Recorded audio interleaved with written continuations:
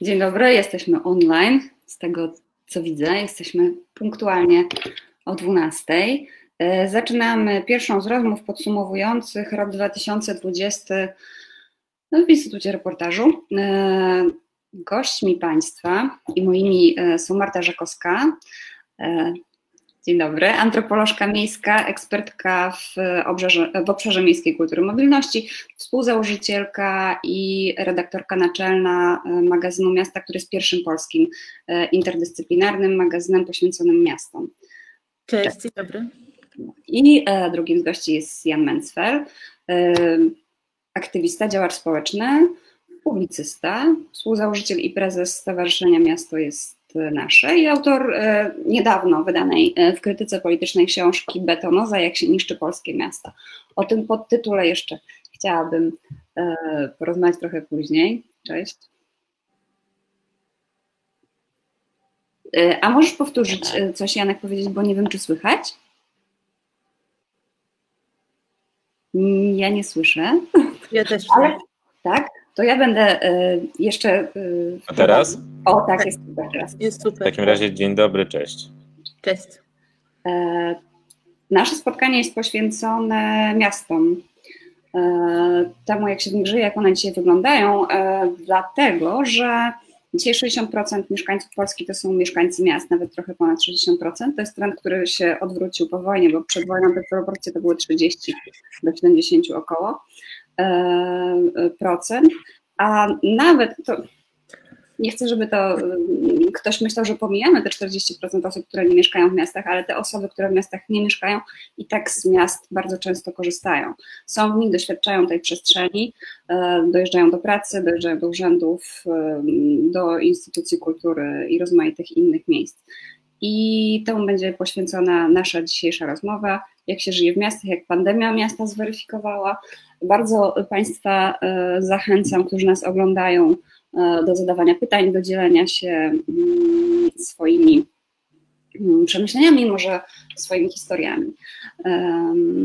I takie pierwsze pytanie, i może będę moderować tak, że pierwsze będzie do Jana Mencfela, e, ponieważ przy okazji pracy nad książką zjeździłeś wiele polskich miast i wiem, że my się mm, zasadniczo zajmujemy tutaj wszyscy słowem, e, ale gdybyś miał zrobić takie zdjęcie albo namalować e, typowy kadr z polskiego miasta, to co by na nim się znalazło? No tak, to teraz będzie ciężko, żeby e, znaleźć coś pozytywnego, a ja generalnie, mimo że jestem no, moja książka i w ogóle jakby nasza działalność zawiera w sobie dużą dozę krytyki wobec rzeczywistości polskich miast, to jednak mimo wszystko staram się być optymistą. E, to znaczy, wydaje mi się, że jednak polskie miasta zaczynają zmieniać się na lepsze. Do tej pory po prostu się zmieniały, a nie zawsze na lepsze, a teraz rzeczywiście ta zmiana przybiera już tak, powoli zaczyna przybierać taki bardziej świadomy charakter. E, I myślę, że są takie dwa obrazki, które można by na takim zdjęciu zawrzeć. To jest z jednej strony e, to jest z jednej strony taka właśnie przestrzeń, nie wiem, rynku czy jakiejś reprezentacyjnej ulicy polskiego miasta, która, która pewnie została w ostatnich latach zrewitalizowana, nawet wygląda pewnie porządnie, więc e, tym obrazem polskiego miasta już na pewno nie jest przestrzeń totalnie zapuszczona, która być może tak jeszcze mogłoby być w latach 90., teraz już myślę, że nie. E, e, no ale z drugiej strony myślę, że gdzieś tam e, w tej, w tej w tej przestrzeni, w której widać zmiany, widać, widać pieniądze, które zostały wydane, widać, że jest jakiś gospodarz, który o to miasto dba. Nie widać jednocześnie jakiegoś takiego spójnego pomysłu na to, jaka ta przestrzeń miejska powinna być. I dlatego ciężko by było, myślę, stworzyć taką jedną, jedną pocztówkę z polskiego miasta, która by łączyła ze sobą różne, różne miasta, i mniejsze, i większe, właśnie dlatego, że, że brakuje jakiegoś takiego jednolitego wzorca dobrej przestrzeni miejskiej, do, takiej miejsc, dobrze pojętej miejskości, dobrze pojętej nowoczesności i rozwoju. I, i myślę, że to jest taki, e, taki problem, który, z którym się obecnie mierzymy i powoli może docieramy do jakichś refleksji, które nas zjednoczą wokół jakiejś idei miasta wspólnej dla, dla nas wszystkich. A Marta, chciałabyś coś dodać? Jest coś, co Tobie przychodzi do głowy? jak myślisz o takim typowym kadrze z polskiego miasta? Ja się zgadzam z Janem, z mhm. Jankiem, że wiele rzeczy się zmienia i pojawia się trochę takich światełek w tunelu, tak, w niektórych obszarach. E, ale też myślę, że to tak, no na, na pewno to bardzo zależy od miasta, ale też od konkretnego miejsca w mieście e, i od tego, e, gdzie i z różnych powodów w danym mieście też mieszkamy. I myślę, że no w bardzo wielu częściach ogromnej liczby miast polskich żyje się średnio, ciężko. E, bardzo wielu grupom z różnych powodów, ale na pewno będziemy o tym rozmawiać. Na mhm. pewno na początek można powiedzieć, że dużo e, w ciągu ostatnich kilku lat się ruszyło. Natomiast e, różne wyzwania, co zresztą Janek ciągle głosi też, rozumiem, że zaczyna tak przyjemnie nasze spotkanie w samo południe w miarę. No ale, ale myślę, że to, y, że, to, y, że to naprawdę bywa bardzo różnie właśnie w zależności od grupy społecznej, miejsca, grupy wiekowej, mhm. grupy etnicznej mhm. i że właśnie tak jak powiedziałaś, podsumowując ten początek, pandemia bardzo zweryfikowała naprawdę wiele z tych obszarów, wyciągnęła to, co fajne na wierzch, ale też stała, jest takim papierkiem lakmusowym właśnie bardzo różnych problemów w różnych obszarach i pokazuje, no, z czym mamy problemy. Mhm. Ale to w takim razie to chciałabym to pociągnąć. To znaczy, co Twoim zdaniem bardzo obnażyła e, pandemia? E, możemy zacząć od minusów, możemy zacząć od tych rzeczy fajnych, które ona e, wyciągnęła na światło dzienne. Z tych fajnych rzeczy to na pewno wyciągnęła i to też nie, nie jest moim zdaniem, a to nie jest takie oczywiste, jak się patrzy na przykład na badania społeczne. Wyciągnęła bardzo siłę naszych różnych lokalnych, nieformalnych wspólnot, czy sieci, czy potencjału w ogóle takiego zaangażowania, oddania w bardzo różnych miastach pomocy, wsparcia i takiego oddolnego łatania bardzo różnych, różnej, różnych problemów, pomagania e, sobie i tak dalej. My mamy e, bardzo, właśnie to jest ciekawe, bo w badaniach różnych, często e, społecznych mówimy o tym, że mamy tam niski kapitał, czyli generalnie słabo się ze sobą e, na różnych mm. poziomach kontaktujemy, dbamy o siebie i tak dalej, w skrócie mówiąc. Natomiast bardzo często właśnie jak się patrzy na te ruchy jednak nieformalne, takie, które często do tych badań kapitału jakoś jakimś, jakoś nie wpadają tak bezpośrednio, to właśnie to jest bardzo silne i na pewno pandemia to pokazała z takich y, przyjemnych rzeczy. No a z nieprzyjemnych, no to jeżeli chodzi o przestrzeń przede wszystkim, to, to też Janek na pewno będzie y, ten temat poruszał. No to pokazała E, przede wszystkim jaki mamy horrendalny problem właśnie z przestrzeniami publicznymi, z, takimi, z taką lokalnością, która, e, która sprawia, że w czasie lockdownu, czy nawet w czasie właśnie pracy zdalnej, nagle jak jesteśmy w okolicy miejsca zamieszkania, to e, w bardzo wielu miejscach po prostu trudno jest załatwić różne rzeczy.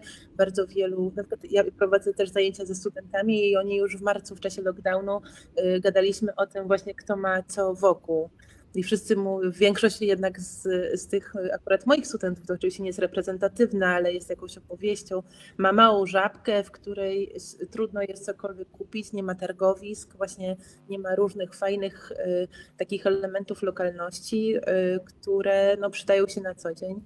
No i oczywiście cały problem z transportem, kiedy cały świat dzisiaj stawia na ruch Y, to WHO też podkreśla, pieszy, rowerowy, przekształcone są setki po prostu kilometrów dzisiaj y, jezdni w różnych miastach na świecie, oddawane pieszym i rowerzystom. My w tym y, kierunku po prostu systemowo nie robimy nic. No, tam jakieś pojedyncze ruchy się pojawiły w różnych polskich miastach, ale no, to nie ma żadnego znaczenia w kontekście tego, co robi świat, no i w kontekście wzrostu na przykład ruchu rowerowego właśnie oddolnie.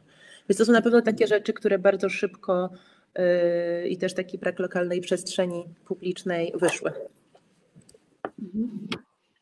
Janek? No, oczywiście, tak, chętnie. Więc myślę, że pominę na chwilę najważniejszy aspekt, jaki obnażyła pandemia, czyli kwestię ochrony zdrowia, bo uważam, że mhm. no jednak mimo wszystko to jest najbardziej dramatyczny wymiar. Szczególnie jak teraz patrzymy na to, ile mamy dziennie zgonów, no to no to naprawdę to jest dramat, ale, ale nie, nie za bardzo też czuję się kompetentny, żeby mhm. odpowiedzieć, z czego to wynika i jakby nie chciałbym wchodzić w to. Na pewno nie można o tym zapominać, jak się mówi o mieście, o, o efektach pandemii, mieście i tak dalej. No ale um, myślę, że takim, e, że taką rzeczą, którą na pewno w jakiś sposób pandemia obnażyła jest e, e, są, są takie nierówności w, w, tym, jakim możemy wybrać styl i tryb życia w mieście, w zależności od tego, jaką pracę wykonujemy, bądź też jaka jest nasza sytuacja taka związana z podstawowymi potrzebami, czy, czy mamy dzieci, czy nie mamy dzieci, e, czy mamy, czy pracujemy, no nie wiem, właśnie w pracy, która jest możliwa do przeniesienia e, na, w tryb zdalny, czy też na przykład właśnie wykonujemy takie podstawowe zawody właśnie, e, które po prostu wymagają obecności w konkretnym miejscu i nie da się tego zawiesić. E, no i to, co ja zauważyłem, to że na Pradze, na Pradze Północ, w której mieszkam, nawet w okresie tego najbardziej twardego lockdownu, e, na ulicach było dużo ludzi. E, a jednocześnie oglądając w internecie, nie wiem, tam w mojej bańce tak zwanej, memy na memy na Make Life Harder i tak dalej, to wydawało mi się, że wszyscy przeszli na jakiś tryb mhm. pracy zdalnej, wszyscy są zamknięci w domach i w ogóle jakby nie istnieje żadne, żaden temat w ogóle poruszania się gdziekolwiek, chodzenia do pracy. No patrząc przez okno e, widziałem, że to jest nieprawda. Mhm. Po pierwsze po prostu byli, e, i to zresztą widać później już było w liczbach, tak, widziałem takie podsumowanie, w którym, z którego wynikało, że około tylko tam nawet mniej niż 20% e, wszystkich miejsc pracy. Mhm 18, no właśnie, przeniosło się na tryb zdalny. Cała reszta ludzi, mimo, mimo lockdownu, musiała po prostu codziennie dojeżdżać do pracy. E, widzę z okna linię tramwajową i mimo, że sam mniej używałem transportu publicznego, to po prostu widzę, że w tych tramwajach codziennie ktoś jeździ, że one są do tego, do tego limitu zapełnione, e, zwłaszcza w godzinach takich normalnych szczytów. Więc, e, więc myślę, że to jest taka podstawowa nierówność, która się ujawniła, że o ile w debacie publicznej może wydawało się, że wszyscy są zamknięci w domach, a tyle to po prostu tak nie, nie wyglądało. E, I myślę, że to jest taki wymiar może mało na razie dyskutowany, też dotyczący życia w mieście, że, że są po prostu takie zawody podstawowe, które pewnie też z reguły może są też często słabiej opłacane. E, no i jakby ja, ja na przykład na nowo doceniłem bardzo moje lokalne sklepy tutaj na Pradze, mhm. które nadal istnieją, przetrwały mimo naporu biedronek i tak dalej, w których po prostu panie sprzedające warzywa ryzykowały swoje zdrowie, żeby codziennie można było się zaopatrzyć w sklepie. I jakby myślę, że to jest taka, taki wymiar jakby docenienia tych, tych właśnie zawodów podstawowej, pierwszej potrzeby, które nawet w trakcie pandemii muszą być wykonywane. A druga rzecz to jest taka, że zauważyłem mm, bardzo dużo bardzo dużo seniorów na ulicach. E, znaczy właśnie jakby młodzi gdzieś zniknęli, ci młodsi, natomiast seniorzy nadal musieli e, chodzić na zakupy, no stąd godziny seniora i tak dalej. E, myślę, że to jest taki też wymiar, przynajmniej tutaj u mnie na Pradze Północ, może nie w każdej dzielnicy, może w innych to wygląda inaczej, czyli po prostu bardzo duża liczba samotnych, osób starszych, samotnych, mieszkających sam, samemu, które muszą codziennie no jakby samemu sobie zrobić zakupy, zapewnić wszystkie podstawowe potrzeby, nie bardzo jest, ma im kto pomóc. No a jeszcze w, w sytuacji pandemii być może są odcięci od rodziny, która może w jakiś sposób, no ze względu na ryzyko zakażenia, nie mogła ich odwiedzać, więc wydaje mi się, że to są takie dwie mniej oczywiste i może mniej takie e, odpowiedzi, których się może po mnie spodziewałyście, ale właśnie może chciałem specjalnie coś powiedzieć innego. E, obserwacje dotyczące życia w mieście, które, które ja przynajmniej do tej pory poczyniłem. Mhm.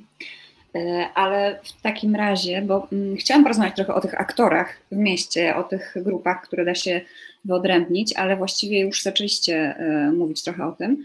I może, bo rzeczywiście na przykład essential workers to są ludzie, którzy muszą dojechać do pracy gdzieś, bo ich praca jest nam niezbędna na co dzień. Ale o tym e, transporcie w miastach to chciałam jeszcze porozmawiać może za chwilę, ale uchwycę się tych seniorów, bo mm, my się starzejemy jako społeczeństwo, znaczy nie tylko polskie społeczeństwo się starzeje y, i osób w dojrzałym wieku będzie coraz więcej na ulicach y, polskich miast. I czy uważacie, że się mm, pandemia pokazała, kto musi wychodzić codziennie z domu, pokazała pewne, pewne grupy na ulicach miast, ale czy polskie miasta w ogóle są przystosowane do tego, żeby korzystały z nich takie grupy jak seniorzy, albo jak na przykład osoby z niepełnosprawnościami. Czy w ogóle macie wrażenie, że to jest przestrzeń, w której się, od, się odnajdują, ma, mają szansę się wygodnie odnaleźć? Marta, ty zdaje się jesteś blisko tego tematu, tak? Seniorów w przestrzeni miejskiej. Mm, jakoś tam badawczo też tak, no na pewno, y, na pewno nie, nie, nie. Mhm. Y, to, to jakby wiemy z różnych badań, ale opowieści też i tak dalej, y, które pokazują, oczywiście to znowu zależy od miejsca i od, no, no, no i też od formy osoby starszej i charakteru, ale też formy psychicznej, fizycznej ale no, polskie miasta są pełne barier i o ile, i o ile, o, o ile można też mówić, że coś tam się w pewnej części narracji wobec tego zmieniło, no to jednak w e, kontekście po prostu dostępności e, chociażby właśnie związanej z taką e, sprawnością fizyczną, no, nasza przestrzeń jest bardzo wykluczająca. I, I to wiemy. Myślę, że y, mamy, jesteśmy jakoś tam przyzwyczajeni do różnych strategii swoich przetrwania, czy też może część z nas sobie nie wyobraża, że mogłoby być wygodniej, prościej i tak dalej ale, no ale na pewno nie są to miasta dostosowane do, do potrzeb mhm. osób starszych i, i do starzejącego się społeczeństwa, bo w ogóle takie miasto idealne, gdzieś tam przystosowane chociażby pod kątem właśnie architektonicznym do osób starszych jest jednocześnie przy, przystosowane do potrzeb wielu innych grup i wiekowych mhm. i, i w ogóle, więc to jest, jest jakby ciągle ten sam problem, o jakim mówimy w polskich miastach w kontekście architektonicznym i, i takim przestrzennym, ale też nie są właśnie to, to bardzo fajny ten wątek, który Janek zarysował, czyli i, który opisałaś, yy, podsumowałaś, jakby, że widzimy, jakie grupy społeczne właśnie po co wychodzą, mimo tego, że wiemy, że teoretycznie, yy, czy wiekowe, jakie grupy właśnie, jeżeli chodzi o wiek, w czasie pandemii też się pojawiają na ulicach. E, to też pokazuje, jaki mamy system e, opieki, wsparcia, jak właśnie wysoki mamy e, przecież też procent samotności, w, mhm. jeden z najwyższych w Europie w grupie seniorów i depresji i samotności. Więc ta ilustracja właśnie mm, zarysowana przez Janka y, tych przestrzeni gdzieś tam właśnie, których nagle y, młodzi, y, ci, którzy mogą, są mniej, bo przychodzą na przykład na zakupy online i tak dalej w dużej mierze, czy na pracę jakąś tam innego typu część ludzi, o tyle właśnie też jakby pokazuje taki problem właśnie samotności i wykluczenia z różnych stref naszego życia, czy korzystania właśnie sieci, które e, wsparcia. Bo niby pojawiły się wszystkie te ruchy, e, wszystkie mhm. ruchy właśnie zrób zakupy seniorom i tak dalej, no ale pamiętajmy, że dla ogromnej części ludzi samotnych wychodzenie po zakupy jest jakąś tam jedną z bardzo niewielu form w ogóle takiego współbycia z kimś. Mhm. I, e, no i to też po prostu zarysowuje, zarysowuje ten problem bardzo ważny. Tym mhm. ważniejsze też właśnie, tak jak mówisz, w kontekście tego, że się starzejemy, że żyjemy w coraz, y, procent też singli już w młodszych grupach jest coraz większy. Oczywiście y, zupełnie też pytanie, jak są definiowane tam sieci, przyjaźnie, nowe rodziny i tak dalej, ale, ale ten problem samotności też będzie się pogłębiał. E, w niektórych miastach, tak na przykład w Warszawie, polityka senioralna częściowo jest bardzo ciekawa, ale jednak, e, ale jednak na przykład e, bardzo dużo takich lokalnych właśnie jest w niej luk, w których ta samotność nie jest ani nijak tak naprawdę mapowana, ani nie, ma, nie, nie, nie powstają takie pomysły na to, jak, jak sobie z tym poradzić, co zrobić, jak pracować ze starszymi ludźmi, z tymi, którzy chcą, bo duża ludzi, część ludzi też po prostu nie chce kontaktu jakiegoś, bo jakoś tam już się osadziła, czy tak wybiera. Natomiast no, brakuje też takich miękkich działań, że tak powiem. Ale czy w takim razie y, brakuje również przykładów? To znaczy, y, za granicą być może są y, prowadzone takie działania, albo y, chodzi o to, że skąd wynika to, że jest że brak takich działań e, w Polsce. Chyba mamy przykłady, na które możemy patrzeć i próbować je wdrażać. No moim zdaniem z niedoszacowania, znaczy oczywiście, bo trzeba też powiedzieć, że od mniej więcej 2000 dnia, 11 roku czy coś takiego w ogóle polity, kwestie polityk senioralnych w polskich miastach się pojawiają, powoli budują, rady seniorów, powstają wielki boom i tak dalej.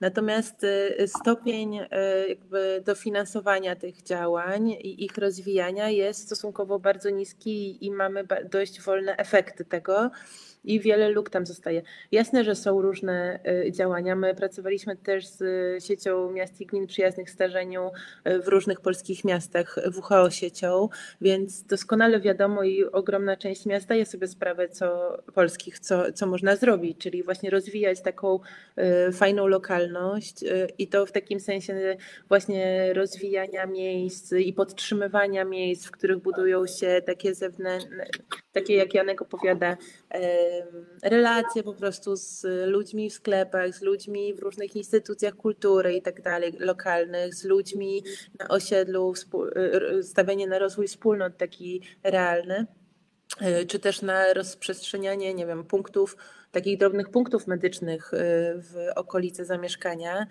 E, jakby ta, ta, wiedza jest, tylko, e, no tylko jest to, e, tak, są to takie elementy zupełnie niedo, niedofinansowane, niedoszacowane, jak, jakoś ich wartość.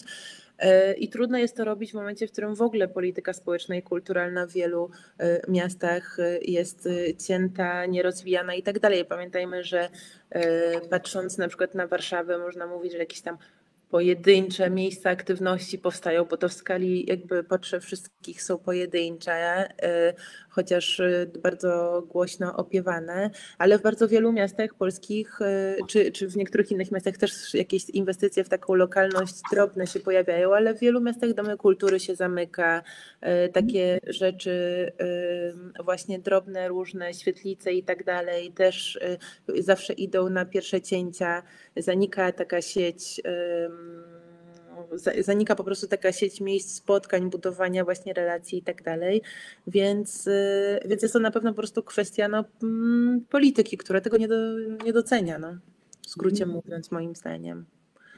Mhm.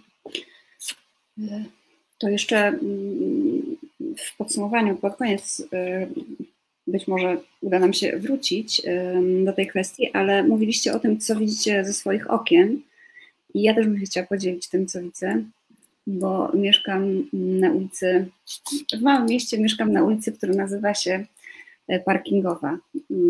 I ona jest taka, jak się nazywa, czyli naprawdę jest ogromnym parkingiem e, i większość kłótni takich lokalnych dotyczy miejsc parkingowych, że powinno ich być więcej jeszcze i parking mamy taki parking prywatny, płatny e, i jest taki ruch, żeby zlikwidować ten parking, żeby był tam po prostu ogólnodostępny parking dla mieszkańców e, bloków. Widzę też e, z okna pętlę tramwajową, znaczy ona jest, szumnie ją nazwałam pętlą tramwajową, to jest taka zatoczka, w której czekają kierowcy autobusów na kolejny kurs. Te autobusy nie są bardzo przepełnione akurat u mnie w mieście, ponieważ jest dosyć duży ruch samochodowy. I chciałam Was zapytać o transport w miastach czym właśnie ludzie się poruszają. Mam wrażenie, że, że jednak odwrót od transportu, od komunikacji miejskiej jest jakimś faktem w tym roku. To Janek. Tak, dobrze, więc y, no na pewno jest i to się nie ma co dziwić, że, że jest, no bo po pierwsze jakby w ogóle mobilność się zmniejszyła, E, i zapotrzebowanie na to, żeby się przemieszczać. Po drugie, no, straszono nas tym transportem publicznym od samego początku, aż do teraz, mimo że mhm. nie wiem ile badań się pojawiło, że, że on nie jest wcale taki niebezpieczny i, i to już bardzo, od bardzo różnych stron zostało to zbadane. Na przykład od takiej strony, ostatnio najnowsze badanie czytałem, że pracownicy, e, na przykład konduktorzy pracujący w pociągach, nie chorują wcale częściej niż inne grupy zawodowe. Więc no, wytworzono taki obraz, że transport publiczny jest niezgroźny i w związku z tym pewnie więcej osób z niego zrezygnowało, niż by, to, niż by potencjalnie mogło zrezygnować. Tylko mi się, ja mimo wszystko mam jakąś tam nadzieję, że ta pandemia nie będzie trwała dłużej niż, no, że jednak w przyszłym roku się skończy, w jakimś, przynajmniej w jakimś wymiarze się skończy. Może jestem optymistą, ale wydaje mi się, że jednak jest szansa na to. i że, ta, że ludzie, którzy po prostu wysiedli z transportu publicznego, jednak do niego wrócą. No bo chyba, że ewentualnie jeszcze przesiądą się na rowery, to by było może takie pozytywne. No bo jednak wydaje mi się, że w dużych miastach, znaczy w, tam, gdzie ten transport publiczny istnieje e, i, i, ma się dobrze, to jednak jest on bardzo dobrą alternatywą dla samochodu. Przynajmniej w Warszawie tak często jest. Nie zawsze niestety, bo autobusy stoją w korkach i brakuje nam buspasów, ale na tramwaje czy metro czy pociągi, no to jest po prostu, jeżeli ktoś już raz przeszedł na ten tryb, że dojeżdża do miejsca pracy transportem publicznym, to jak zacznie dojeżdżać samochodem, to przekona się, że to wcale nie jest tak różowo, jak się to e, przedstawia. Więc myślę, że ta, ja mam taką nadzieję, że ta, że ta zmiana nie będzie trwała i że to jednak jest taki chwilowa, chwilowy odwrót, a, a, a no to mimo wszystko będzie dalej, dalej e, przynajmniej w Warszawie, no, główny tak naprawdę sposób przemieszczania się mieszkańców, bo tak jest. No. Problemem jest znowu to, że inaczej wygląda rzeczywistość e, w liczbach i statystykach, a inaczej wygląda narracja, no, taka dominująca. No, dominująca narracja jest tworzona przez, e, przez mężczyzn e, powiedzmy w wieku 40 plus, którzy wyrośli w i dobrze sytuowanych przedstawicieli klasy średniej, no to nie ma znaczenia, czy oni są z PiSu, czy z Platformy, bo oni dokładnie w ten sam sposób myślą o, o, o transporcie, czyli przyzwyczaili się do tego, że po pierwsze samochód to wyznacznik statusu społecznego, po drugie przez wiele lat polityka wyglądała tak, że absolutnie wszędzie ma, e, powinniśmy móc dojechać samochodem i jeszcze naj, najchętniej go zaparkować w tym miejscu pod samymi drzwiami za darmo. E, I, e, I jakby do tego samego przyzwyczajono też jakąś grupę mieszkańców, wyborców, którzy po prostu no, zwyczajnie wiedzą, że to jest ten element, który jest wyznacznikiem rozwoju, e, że ułatwia się non-stop dojeżdżanie gdzieś samochodem. W związku z tym no, ta grupa po prostu narzuca swoją narrację i ta narracja dominuje w polskiej debacie publicznej, ale prawda jest taka, że że, tak, że, to, że, to, że, że grupa pasażerów, nie wiem, jest równie liczna, tylko nie jest przyzwyczajona do tego, że może domagać się swoich praw. Mhm. No i jakby zwyczajnie nie, nie, nie, nie, nie ma, nie wiem jak to nazwać, no, powiedziałbym, że nawet świadomości klasowej, ale to nie jest klasa, no więc, ale w gruncie rzeczy chodzi dokładnie o to samo, że, że, że to też jest jakaś grupa, która, która, mm, która jakieś czegoś może się domagać. No i wreszcie jest ta grupa osób, e, która rosnąca szybko, która porusza się na co dzień na rowerze, której w Warszawie wzrosło to, ten ruch rowerowy wzrosło 17%, to nie jest tak dużo, ale to jednak jest jakiś wzrost, która myślę, że z czasem też zacznie zauważać, że, że jakby no, po pierwsze, oni wybierają tą formę transportu, która jest najmniej obciążająca dla środowiska, dla zdrowia publicznego, dla przestrzeni miejskiej, no bo zaparkowanie roweru to nie to, co zaparkowanie samochodu, i że też w związku z tym coś im się od władz należy. Więc my, myślę, że paradoksalnie ten okres pandemii wzmocnił to przekonanie wśród osób dojeżdżających na rowerach. E, też zobaczyliśmy, że jest nas trochę więcej niż się mówi, że jesteśmy jakąś grupą, z którą należy się liczyć. E, I wydaje mi się, że wbrew pozorom, mimo że teraz może mamy jakiś lekki kryzys taki transport, no, w tym dyskursie o transporcie publicznym, no, transport, zrównoważonym transporcie w mieście w ogóle, czyli mhm. o ruchu pieszym, rowerowym i o transporcie publicznym, to jednak e, mimo wszystko to nie będzie aż tak poważne i wrócimy do tego, do tej trajektorii, którą przez ostatni okres przed pandemią jednak obraliśmy, czyli no, że trochę już od, odchodzimy od tego myślenia, że wszędzie samochodem i, i przynajmniej w warstwie polityk publicznych musimy brać pod uwagę różne potrzeby, różne grupy. Mhm. Bo um, kiedy mówiłeś to, tak sobie pomyślałam, ten 17% wzrost y, ruchu rowerowego w Warszawie, ja mam wrażenie, że to robią sami ludzie, to znaczy sami rowerzyści, same osoby, które chcą się y, poruszać y, w aktywny sposób, to nie, nie do końca wynika z tego, że mm, lokalne władze w wielu miastach ułatwiają takie poruszanie się, taką mobilną aktywność. Czy tak Czyli no, to jest no, oddolny, tak? To właśnie zaczyna no, się to, że ludzie zaczynają czuć się grupą. Ja jestem rowerzystą albo pieszą i, e, i, i to ja korzystam z takiego środka transportu, a nie na przykład są super chodniki i super drogi rowerowe w całym systemie miejskim. Mhm. Nie no, jeżeli chodzi o system, no to wygląda to nie najlepiej, powiedziałbym, mimo że powstają kolejne kilometry dróg rowerowych, to one przynajmniej w Warszawie, ale myślę, że w każdym mieście mhm. w Polsce nie są połączone w żaden spójny system pozwalający na, znaczy zachęcający do wyboru roweru jako środka transportu na co dzień, nie tylko rekreacji, ale z drugiej strony, no wydaje mi się, że każdy, kto, że, że, że jakby na, na korzyść roweru, wyboru roweru jako środka transportu, no yy, jakby yy, działa cała kultura yy, taka jednak, która, która zachęt, non-stop zachęca do bycia, nie wiem, fit, bycia zdrowym w formie i tak dalej, i tak dalej. E, ludzie coraz więcej jeżdżą na rowerze rekreacyjnie, no jednak widzą, że te ścieżki rowerowe gdzieś tam są, może one nie są może to nie jest jeszcze super system, ale widać, że ich jest, ich, jest ich coraz więcej, więc czują się po prostu zachęceni do tego, żeby chociaż spróbować. No i właśnie z rowerem jest tak, że jak się pokona te wszystkie mity ładowane nam do głowy przez tam Łukasza Warzechę i innych tam, że to przecież się nie nadaje, a jak to na co dzień rowerem, gdzie, przecież to no, w garniturze, ja może, minus jest już 5 stopni, poniżej 10 to ścieżki rowerowe już są puste całkowicie i tak dalej. No to są oczywiście bzdury wszystko, bo Kopenhadze jest znacznie mhm. trudny, cięższy klimat niż w Polsce, może, więc e, to okazuje się, że naprawdę rower jest bardzo atrakcyjnym środkiem poruszania się po mieście, e, że no ja, ja na przykład, moje zawsze doświadczenie jest takie, że, że jak jadę rowerem, jadę do pracy i wracam z pracy, to po prostu sama podróż jest relaksująca zwyczajnie, no. Mhm. jest, no, nabiera się siły i tak dalej, więc jakby no pomijam już fakt, że wtedy, że, że podróż rowerem zajmuje zawsze dokładnie tyle samo czasu i nie ma żadnych niespodzianek i zawsze zaparkujemy rower pod samymi drzwiami budynku, do którego chcemy dojechać, więc to są takie odkrycia, które ludzie myślę, że na własną rękę jakby dokonują tych odkryć e, i one one w dużej mierze mogą, jeżeli pójdą za, tą, za tym odpowiednie decyzje władz, to przełożą się na zmianę, że po prostu będziemy mieli coraz więcej tych, mhm. ten procent już nie będzie 17, to nie będzie tam kilka procent rowerzystów, tylko to będzie kilkanaście procent, bo spokojnie możemy do tego doprowadzić, tylko, tylko potrzeba jeszcze, żeby ktoś na górze to zauważył. Mhm. A mm, Marta, magazyn Miasta ma taki rodzaj claimu pod tytuł e, Przyszłość leży na chodnikach. I tak. Mam, tak, mam taki, um, taki przykład dość świeży akurat z Bydgoszczy, bo opublikowano projekt budżetu na 2021, ale też organizacje społeczne weryfikowały bu wykorzystanie budżetu na 2019.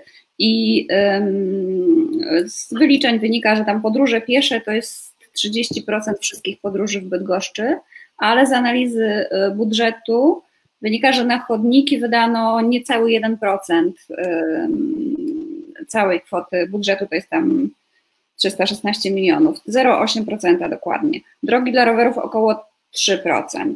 Tramwaj najwięcej, ale kilkadziesiąt, kilkanaście procent to poszerzanie ulic, różne trasy szybkiego ruchu, wiadukty i tak dalej. Więc jakie są te chodniki w Polsce, na których ta przyszłość nas czeka. Tak, no to jest nasze gdzieś tam nasz, no nasza wskazówka, to hasło ciągłe.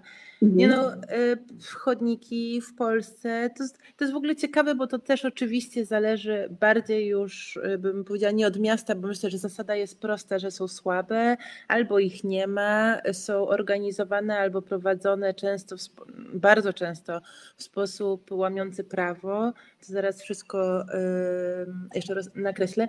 Natomiast w niektórych miejscach, w bogatszych dzielnicach są szerokie, bardzo wygodne i tak dalej. Tak jak na przykład, nie wiem, ulica Narbutta e, w Warszawie, w której mamy świetną aleję i a przynajmniej w tej części jej, w tej części jej w jednej części e, i będzie jeszcze teraz poddawana rewitalizacji, więc oczywiście są takie miejsca w polskich miastach, w których one są ok i, e, i tak dalej, no ale to właśnie jest raczej wskaźnik nierówności. Zasada raczej jest taka, że są wąskie, nierówne, e, zastawione samochodami, łamiące prawo w tym sensie, że według prawa na chodniku musi być pozostawione minimum dwa metry dla pieszego a na bardzo wielu chodnikach tak po prostu nie jest. I to sprawia, że z jednej strony oczywiście co ci, którzy się nad tym zastanawiają, czy jakoś ich to irytuje, oczywiście wiedzą, no ale część z Państwa może się nad tym nie zastanawia. To sprawia, że oczywiście z jednej strony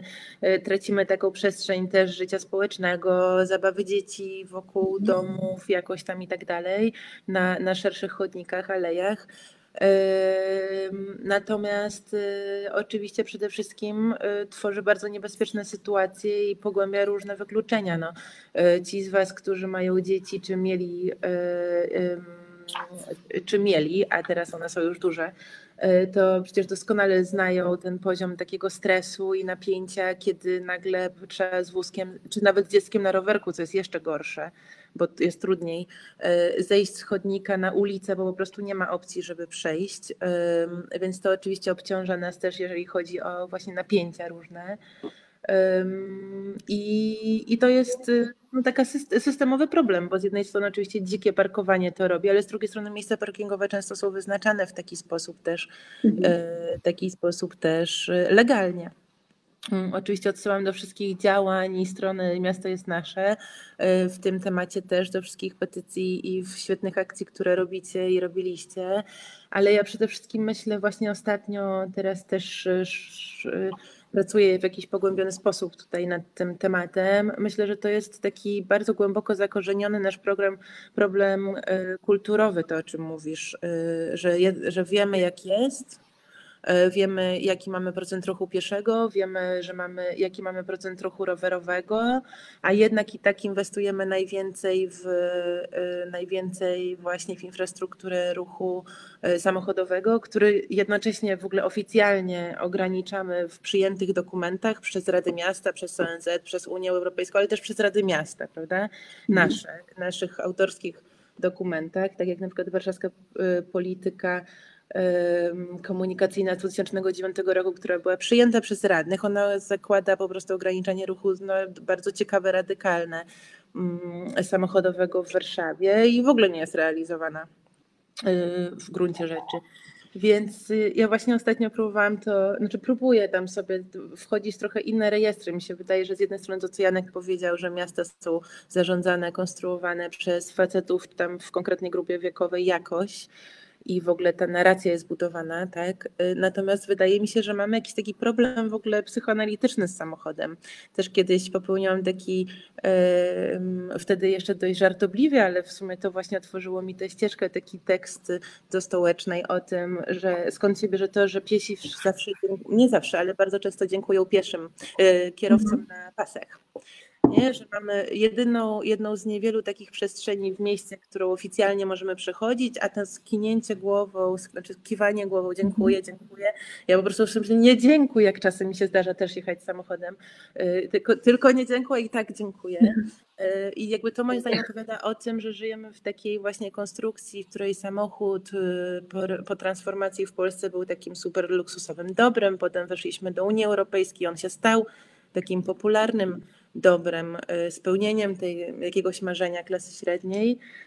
No i widać cały czas przyrost, jakby z roku na rok, totalnie w kontrze do tego, co się dzieje w różnych y, krajach y, dziś na świecie. Mm, I myślę, że no, no, myślę, że to jest właśnie gdzieś tam tak, y, musimy sobie po prostu się posadzić kiedyś na jakąś kozetkę społeczną w tej sprawie, bo y, no, nic nie pomaga. Ruchy miejskie świetne, przecież naj, jedna z najfajniejszych po prostu na świecie, tak silna sieć, to w ogóle się rzadko zdarza w Europie. No i co? I nic. Od 10 lat pracujemy, naprawdę niewiele się dzieje. Mm, to też pandemia pokazała znowu, mhm że, że my znowu tam tak naprawdę, yy, ba, teraz spróbuję sobie przypomnieć, kiedy w marcu kwietniu burmistrzowie różnych miast na świecie mówili, że oto pandemia przyspiesza śmierć samochodu. Bill de Blasio mm. powiedział, że nigdy więcej nie kupi samochodu, bo to właśnie pokazuje, że smog jeszcze przyspiesza zakażenie koronawirusem, że musimy dbać o swoje zdrowie psychiczne, fizyczne, wsiadać na rowery, oddaje jezdnie i tak dalej. Podobnie burmistrz y, Londynu na przykład i wielu innych miast. No u nas, y, ja pamiętam, że specjalnie właśnie śledziłam y, jedne z jedyny taki kontekst tego to były dyskusje o, o, o, tym, co zrobić y, ze strefą płatnego parkowania, mhm. Czy w ogóle odniesienie się do tego, że rząd zaproponował zamknięcie Veturillo, ale to był pierwszy na przykład w Warszawie moment, w którym prezydent Trzaskowski oficjalnie w ogóle wypowiedział się na temat ruchu rowerowego. Nie powiedział na ten temat nic w pandemii, że tam wsiadajcie na rowery, dbajcie o zdrowie, odciążajmy w ten sposób transport publiczny, nie wsiadajmy do samochodów.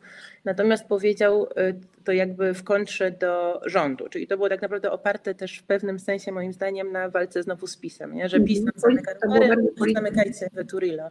Jakby to nie była żadna... Yy, żadne no, zagranie właśnie na rzecz naszego zdrowia w tym sensie, więc Ja myślę, że z tym samochodem mamy jakiś taki głęboki, uzależnienowy romans i że oczywiście trzeba cisnąć i stworzyć alternatywę, e, żeby, żebyśmy mieli wygodny wybór już jak, jak trochę od tego odejdziemy, ale też właśnie zająć się tą pozycją taką w naszym ciele i w naszej kulturze samochodu i ją dekonstruować jakoś, tworząc te alternatywy jednocześnie. Mhm. Dobra, bo nasunęłam się innego rodzaju dekonstrukcja. Mam nadzieję, Janek, że się nie obrazisz, jak przytoczę, ale sam się powoływałeś na tego mema, więc mam nadzieję, że nie będziesz miał mi za złe, bo e, akurat e, rzeczywiście e, ty napisałaś, w, zdaje się, w piśmie, tak, że burmistrz Nowego Jorku powiedział, że samochody to jest przeszłość, przyszłość to transport publiczny, rowery, ruch pieszy, nigdy już nie będę miał samochodu.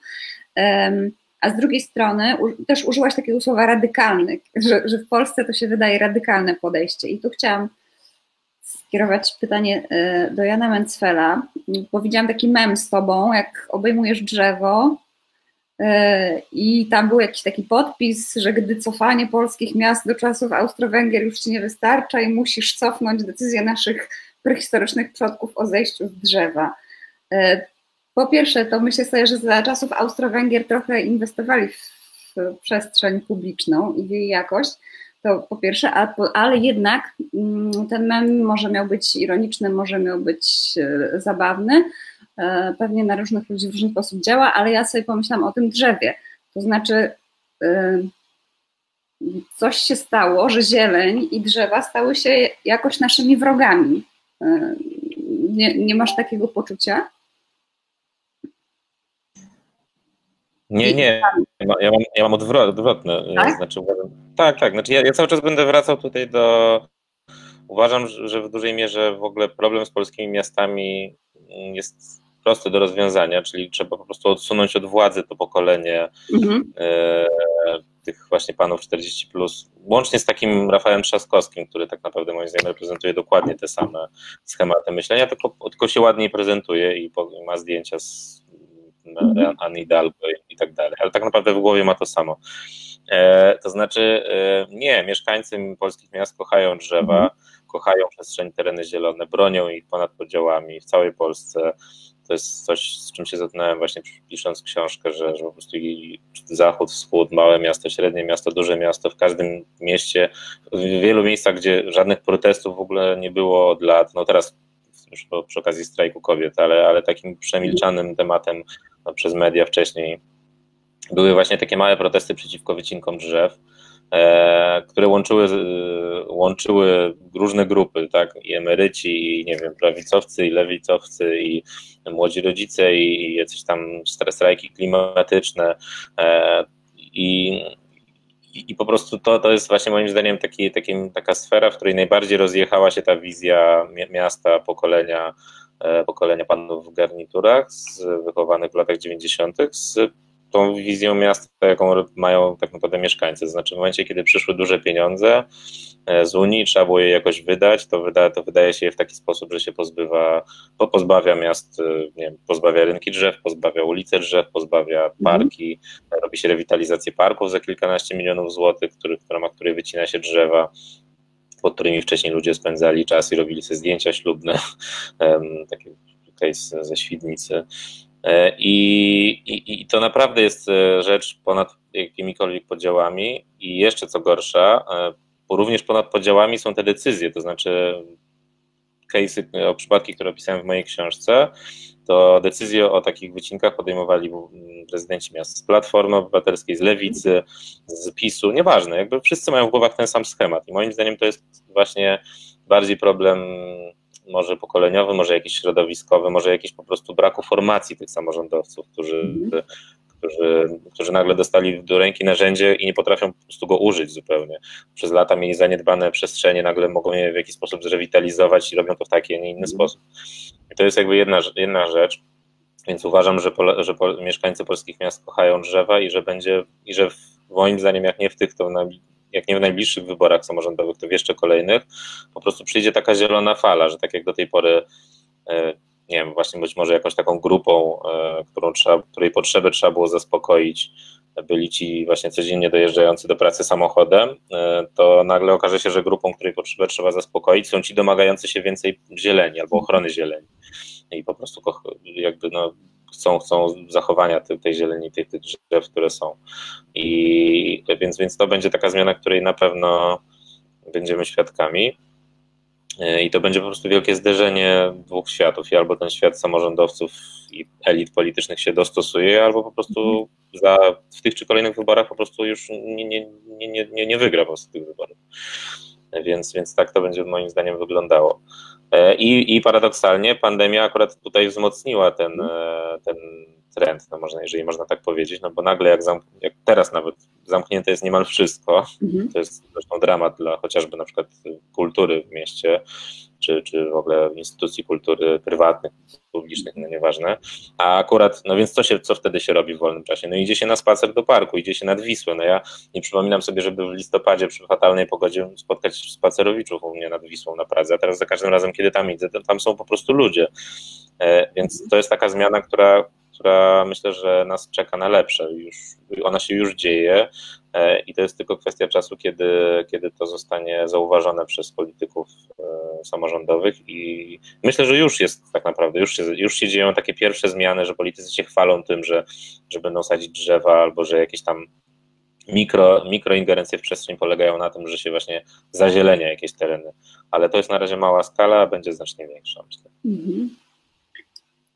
Pojawia się pytanie i zadam je. E, wprawdzie chciałam przejść to w trochę innym kierunku, ale zadam pytanie. Pani Anna Katarzyna Wiśniewska zapytała, co z tymi mieszkańcami, którzy mają takie podejście jak ci panowie w garniturach? Czemu aktywiści uważają, że ich podejście jest jedyne i słuszne? To jest takie pytanie z tezą, no ale... No właśnie, to jest pytanie z, te, z tezą, więc od razu zacznę od tej tezy. Nie, nie uważamy, że nasze podejście jest jedyne i słuszne. E, uważamy, że jest to podejście, znaczy nie, wiem co, co, co teraz o jak konkretnie jaką sferę chodzi. No jeżeli chodzi na przykład o to, że o transport, no to nie jesteśmy za tym, żeby wyrzucić z miast samochody i sprawić, żeby wszystkie ulice były tylko drogami dla rowerów, tylko jesteśmy za tym, żeby wreszcie nastąpiła jakaś równowaga. No, tak jak przy, przykład Bydgoszczy i tych inwestycji, miliony, setki milionów złotych w polskich miastach są wydawane na kolejne arterie, dla samochodów. Teraz w Warszawie buduje się wielką estakadę na Marsa, która pompuje więcej samochodów do centrum miasta mhm. i, i, z, tej, i z tej inwestycji nie zrezygnowano w trakcie e, cięć, ale zrezygnowano z składki pieszo-rowerowej przez mhm. Wisłę, prawda? Więc e, jesteśmy za tym, żeby zapanowała jakaś elementarna równowaga e, i, i myślę, że do tego tak naprawdę dążymy i jeżeli ktoś, nie wiem, potrzebuje dojazdu, dojeżdżać samochodem codziennie, to będzie nadal mógł, a nawet naszym zdaniem będzie mu łatwiej, jeżeli te zmiany nastąpią, bo więcej osób poczuje się zachęconych do innych form transportu i być może po prostu będą mniejsze korki dzięki temu. Mhm. E, więc to jest jedna, jedna rzecz. No, a jeżeli chodzi o tą zieleń, no trudno mi jakby, czy to jest podejście jest jedyne i słuszne. No, Trudno mi jakby powiedzieć, jakie mogłoby być inne podejście. Znaczy, inne podejście miałoby zakładać, że co, że po prostu zgadzamy się na to, żeby wyrzucać tereny zielone z miast. No, myślę, że jeżeli, że, że no jakoś nie, nie chciałbym wiedzieć, z czym miałbym konkretnie dyskutować, bo ja bronię po prostu tezy, że przyroda w mieście jest nam potrzebna i że powinno być jej więcej niż jest teraz, a ta, która jest, powinna być za wszelką cenę chroniona. Więc nie wiem, z jaką tezą pani wychodzi. Mhm. Bo czy to nie jest, tak skojarzyło mi się to pytanie, z takim podejściem, że mieszkańcy miast, w ogóle ludzie, którzy żyją na jakiejś przestrzeni, to są jakieś antagonistyczne grupy, jacyś aktorzy, którzy muszą ze sobą walczyć i czyjś interes musi przeważać. I czy rzeczywiście myślicie, że są takie grupy w polskich miastach, które są silnie konfliktowe, czy, e, czy to jest tylko kwestia jakiegoś, jakiejś narracji w mediach albo nie wiem, nawet w mediach społecznościowych? Ja myślę, że interesy niektóre przy niektórych zmianach są silnie konfliktowe. Mhm. Y, mają to emocjonalne, niektóre konflikty wokół różnych zmian w polskich miastach. Y, na przykład właśnie w kontekście, y, nie wiem, przekształcania niektórych, przekształcania jakichś parkingów w place, czy, czy prób wręcz albo właśnie likwidowania parkingów i tak dalej. Z tym, że często okazuje się, że e, jak proces jest dobrze moderowany, to jednak udaje się znaleźć jakąś e, średnią, czy osiągnąć jakiś taki moment, w którym wszyscy są w miarę zadowoleni, czy idą jakiś konsensus po prostu.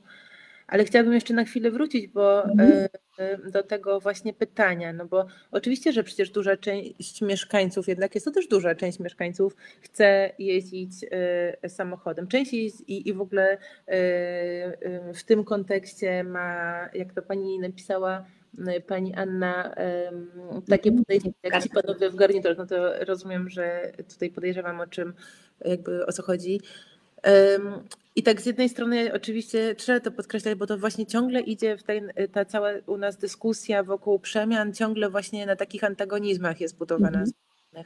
I y, mi się wydaje, że z, trzeba podkreślać to, co Janek mówi i bardzo często właśnie wszyscy pracujący na rzecz jakiejś zmiany to podkreślają, że chodzi o równoważenie, że zrównoważony transport, czyli taki zdrowy transport dla tych państw, którym w tym nie siedzą, lepszy system transportu niż taki, który E, mimo wszystko, w którym dominuje ta inwestycja w ruch samochodowy no to jednak właśnie jest transport, w którym są po prostu różne elementy. Y, ruch pieszy, rowerowy, transport publiczny i ruch samochodowy. I chodzi o to, żeby po prostu równoważyć inwestycje, żeby nie było takich sytuacji, jak mówiłaś o Bydgoszczy, tak, że mamy ileś tam procent ruchu pieszego, a jeden procent tylko w tej inwestycji i później y, wypadki z udziałem pieszych, coraz mniej ludzi właśnie y, chętnych przechodzących na ten ruch pieszy i tak dalej.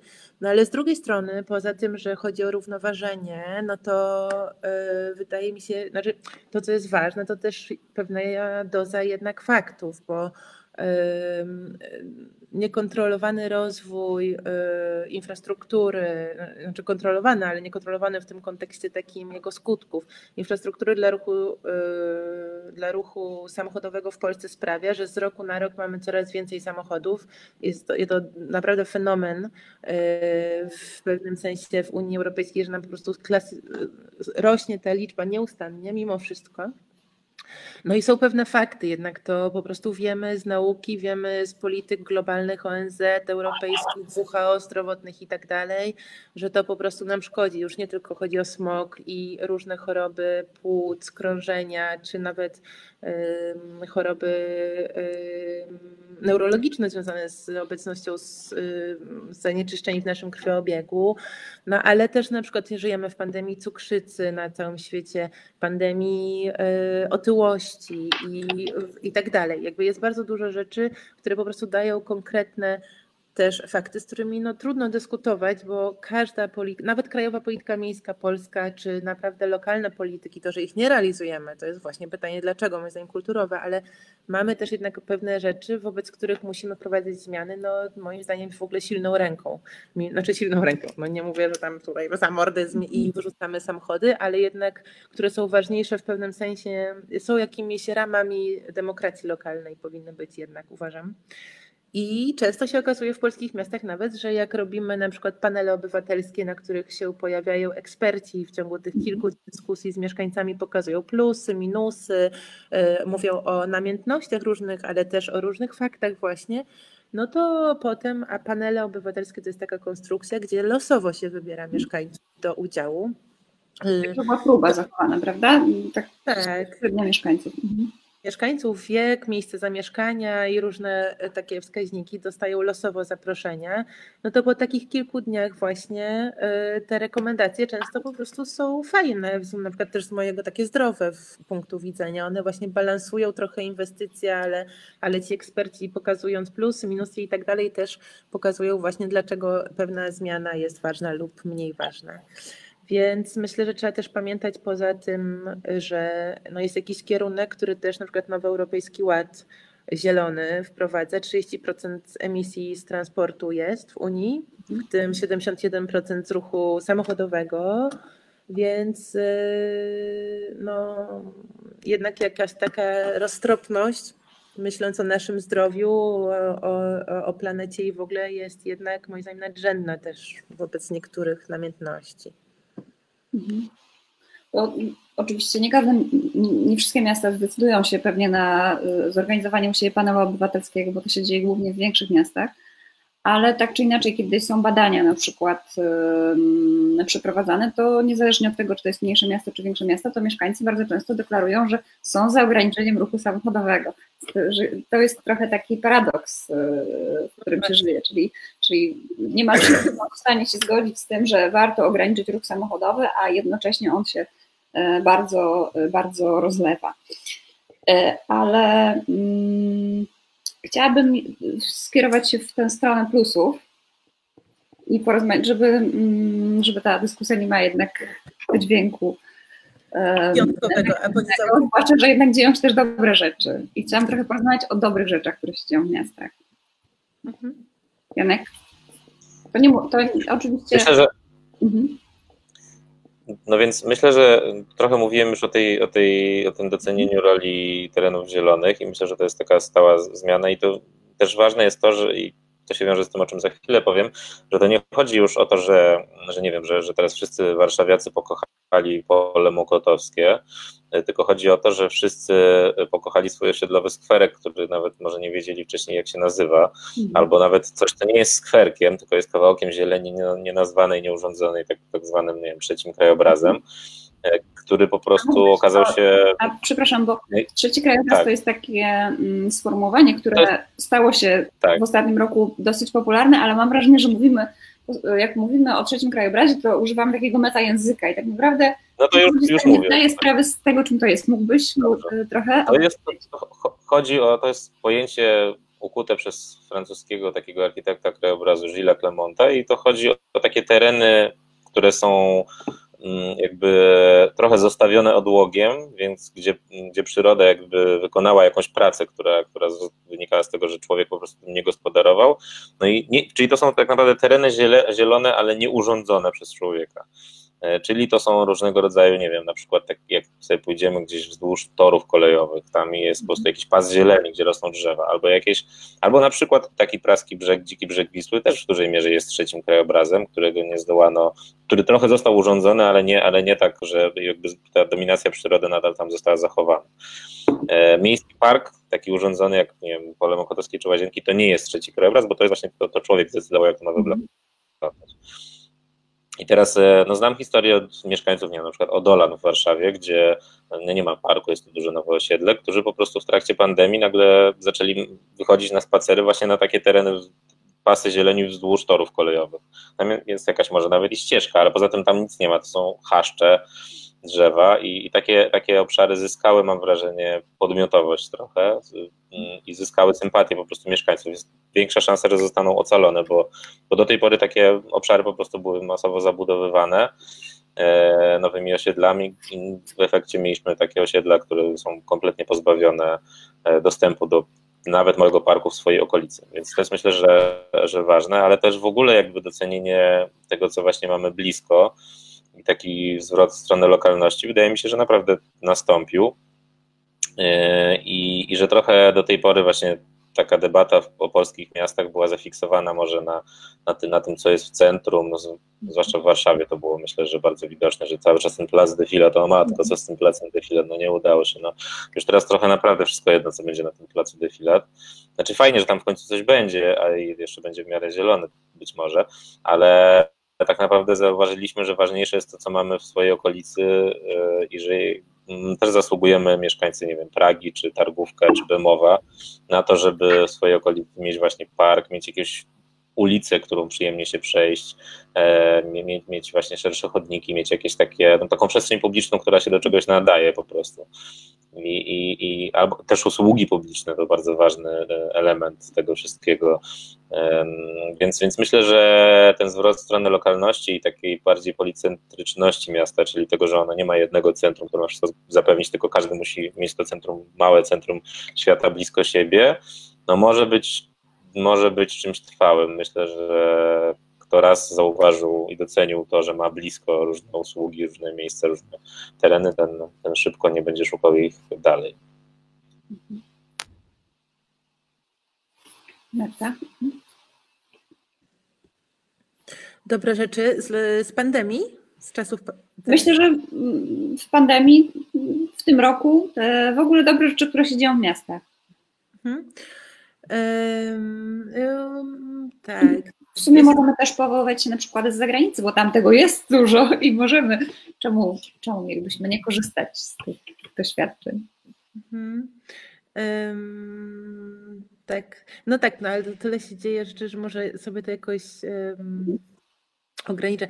No jeżeli chodzi o polskie miasta, to um, to no nie, no bo jeżeli chodzi o pandemię, to na pewno się zgadzam, że ta lokalność, y, ja mam taką cichą nadzieję, ale myślę, że jakoś tam bezsensowną, beznadziejną, y, jednak nadzieję beznadziejną, y, że właśnie ta refleksja po pandemii nie będzie taka znaczy, że nie zamkniemy sobie rozdziałów, no tak było, minęło i tyle i, i pójdziemy swoją starą, utartą ścieżką rozwoju, tylko właśnie, że te rzeczy potraktujemy, to co się działo y, teraz, jako taki też test właśnie y, naszych miast y, mm, w różnych kontekstach. E, na razie tego nie widać i tak jak na przykład z takich fajnych rzeczy, które się ostatnio dzieją, to właśnie w kontekście tej lokalności niektóre miasta dziś, nie wiem, na przykład Paryż obiera zupełnie nową strategię e, dużych inwestycji właśnie w rozwój lokalności i w ogóle w taką politykę miasta 15 minut, y, co y, dla tych, którzy siedzą w miejskich sprawach, to też zupełnie nie jest nowa rzecz, a w ogóle to miasta właśnie przecież średniowieczne były tak budowane, że w zasadzie od muru do muru było pewnie jakieś 20 minut piechotą. Natomiast w tej takiej nowej, i znowu to tam wracało w XX wieku, no a teraz znowu wraca właśnie w kontekście pandemii jako konieczny rozwój lokalności, jednocześnie właśnie doprowadzenie do tego, żeby w promieniu 15 minut były tak jak Janek mówił, y, różne rodzaje usług i, lub też transport publiczny, y, którym łatwo w ciągu kolejnych 15-20 minut jest dojechać na, y, do najważniejszych punktów w innych dzielnicach. No ja mam dużą nadzieję, że u nas właśnie ta, taki trochę test lokalności, który pandemia nam zrobiła, bo z jednej strony um, oczywiście w wielu dzielnicach ona żyje, je, są te punkty usług, są te lokalne sklepiki i tak dalej, ale naprawdę w bardzo wielu dzielnicach różnych e, miast e, sklepiki dostępne to są e, te żabki tylko i tak dalej. My też wyniszczyliśmy sporo takich lokalnych właśnie miejsc centrami handlowymi i, i takim nieprzemyślanym rozwojem, no ale na pewno to, co też jest fajnego, to nowe odkrycie, przynajmniej społeczne. Zobaczymy właśnie, czy to się przełoży na różne decyzje bazarów i marketów, bo nagle się okazuje, że to jest po prostu super bezpieczne, jakby w kontekście stosunkowo, że tak powiem, super bezpieczna forma e, i handlu, i kupowania. E, e, poza tym, że wiemy, że to też jest fajna rzecz, jeżeli chodzi właśnie o budowanie relacji e, w okolicy swojego miejsca zamieszkania, sieci wsparcia i tak dalej, to na wielu bazarkach się zaczęły pojawiać takie, takie propozycje właśnie, że starszym ludziom doniosą zakupy do domu, brali numery od starszych ludzi. Wiem akurat z różnych bazarków, z którymi mam pośredni lub bezpośredni kontakt przez jakichś znajomych, że to rzeczywiście ta sieć społeczna e, w takich miejscach działa. Mm, I cieszę się też, że Morawiecki, bo tam były dyskusje o tym, czy zamykać bazary, czy nie. I oni jednak zrezygnowali, bo to już było tak samo absurdalne jak wycofywanie Veturilo, tylko jeszcze bardziej lokalnie pewnie szkodliwe. Y, więc to na pewno jest fajne, że, że, że te bazary się objawiły jako taki ważny element i mam nadzieję właśnie, że kilka takich fajnych, ważnych elementów jednak weźmiemy na warsztat, chociaż boję się, że nie weźmiemy, bo wiadomo było, że ruch rowerowy wzrasta, to było widać gołymi po prostu oczami i teraz to wiemy z badań w różnych miastach, ale a nie zrobiliśmy w tym kontekście nic, y, nawet się nie zastanawiając, gdzie ci nowi rowerzyści, widząc ich na co dzień, właśnie mają się bezpiecznie pomieścić, czy jak to wesprzeć. No ale, y, no ale kilka takich rzeczy fajnych się objawiło. Mam nadzieję, że y, jednak, jednak dojdzie tutaj do jakiejś refleksji, takiego podsumowania tego kryzysu, tym bardziej, że podobno to jest pierwsza z pandemii, w erze mhm. pandemii. To znaczy oprócz tych takich pandemii, o których nie mówimy i wypieramy na co dzień, tam cukrzycy, depresji, otyłości w miastach, bo w nich żyjemy od kilku lat już, no ale takich pandemii, że tak powiem, uświadomionych mm, masowo. No, mm, u mnie w mieście, ja mieszkam w Żardowie,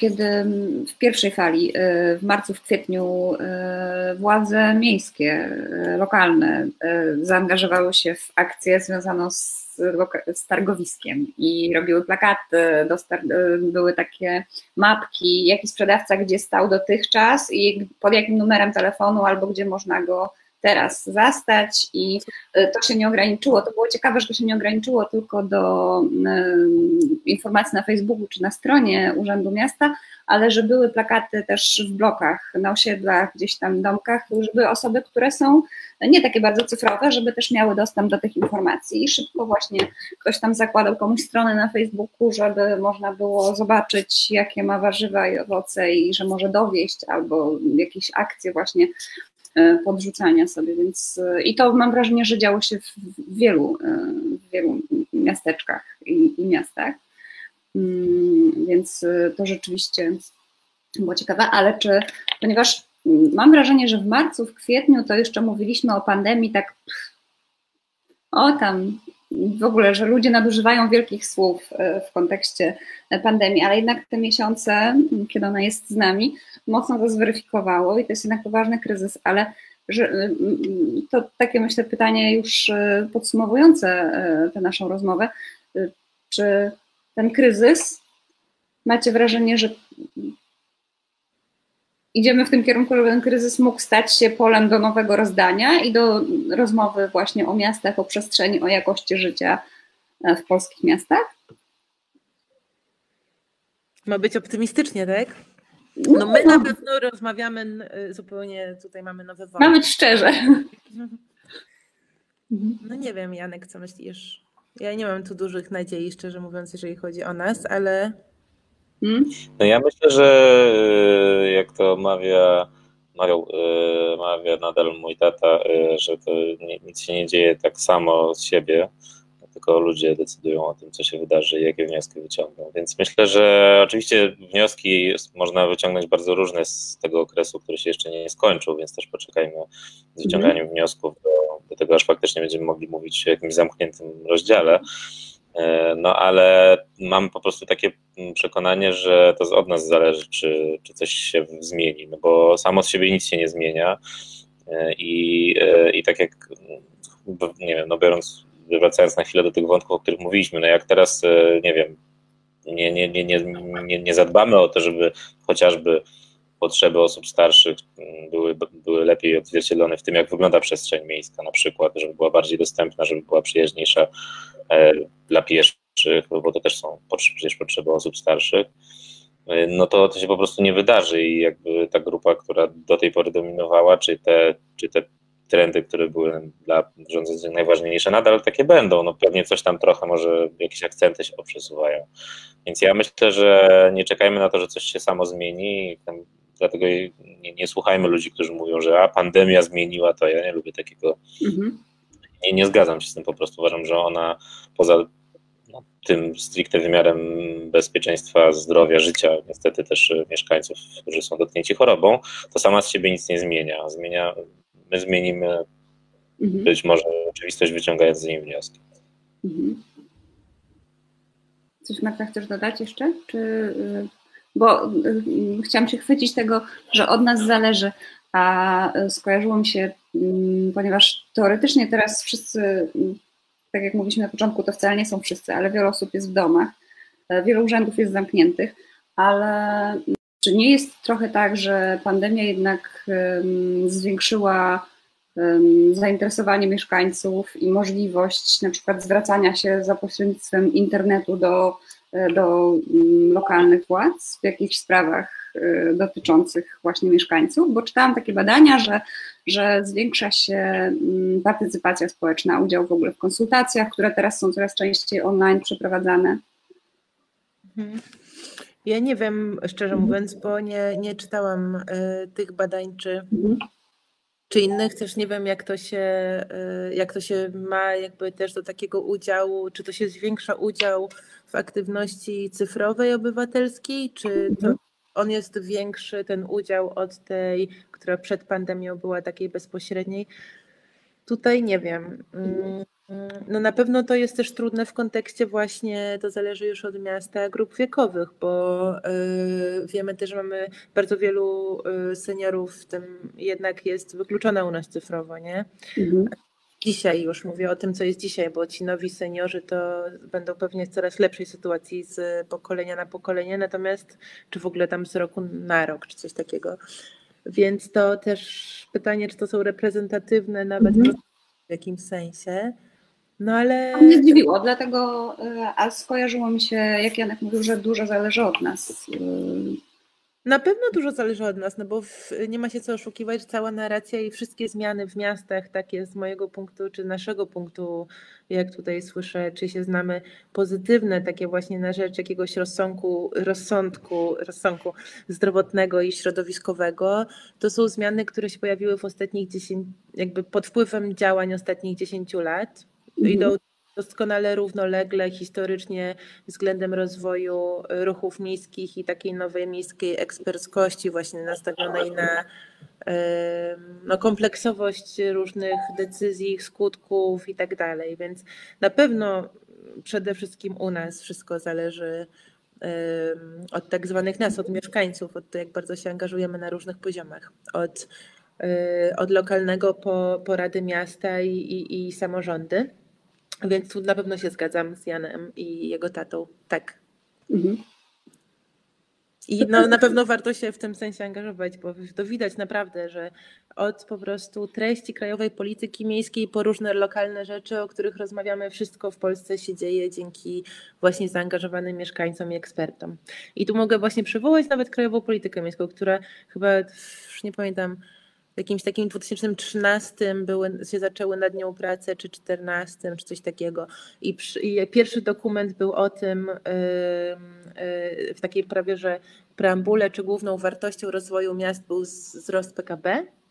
A proszę zauważyć, że w pierwszej y, przyjętej krajowej polityce miejskiej jest to jednak właśnie szeroko pojęte słowo wydmuszka, ale jednak już o bliższym y, ważnych, y, ważnym sprawom ze względu na nasze życie, y, klimatach, jest już, y, że rozwój miasta przede wszystkim jakość, rozwój jakości życia mieszkańców. I ta zmiana, bardzo kluczowa dla w ogóle rozwoju tej zmiany właśnie gdzieś tam w myśleniu i pracy nad miastami, była załatwiona przez ciężką pracę już właśnie wtedy rodzących się różnych ruchów miejskich z różnych miast, działających w ramach Kongresu Ruchów Miejskich na samym początku, więc no na pewno od najważniejszych zapisów po wszystko co tam w naszym życiu w mieście jest ważne dla nas prywatnie, e, zależy od nas w Polsce.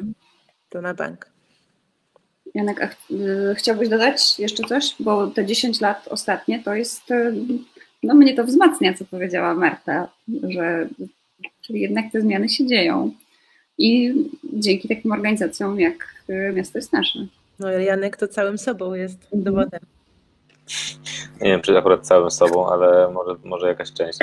E, no i co ja myślę, że tak, no, że zgadzam się z tym, że zrobiliśmy jakiś e, krok do przodu przez te lata. już się nauczyłem tego, e, że, że pewne rzeczy po prostu zajmują trochę czasu i, i że pewne zmiany się po prostu dzieją. Nawet dopiero po jakimś czasie zauważamy, że one, że one się dzieją. I że, ale, ale z drugiej strony, że potrzebny jest taki etap, mm, no taki etap, mm, gdzie, gdzie wejdą w grę pewne emocje, które, które i jakieś takie no, autentyczne potrzeby ludzi. E, I myślę, że na przykład takim etap, był, był te, za nami, za sobą mamy taki etap związany z na przykład jakością powietrza, mhm. że po prostu już jakby przez kilka lat wszyscy się wściekali na to, jak to jest możliwe, że oddychamy takim, e, takim syfem, za przeproszeniem. Nadal się niestety będziemy wściekać, bo to się bardzo nie poprawiło, ale mimo wszystko poszły za tym jakieś konkretne decyzje, przynajmniej w obszarze, nie wiem, no, likwidacji tam kopciuchów i tak dalej. E, I, i myślę, że kilka z tych tematów, o których tutaj rozmawialiśmy, wymaga jeszcze tego, żebyśmy doszli do tego etapu emocji stojących za tym. Może w sprawie zieleni czy wycinek drzew to już, to już gdzieś się wydarzyło, E, ale, ale chociażby na przykład te zmiany propiesze, czy jakieś takie, albo na przykład właśnie nie wiem, polityka senioralna, to to jest cały czas taki etap, że no niby wiemy, że coś można by zmienić, ale cały czas nikt tak nie powiedział głośno, że, że jednak kurczę, już chcemy realnych zmian.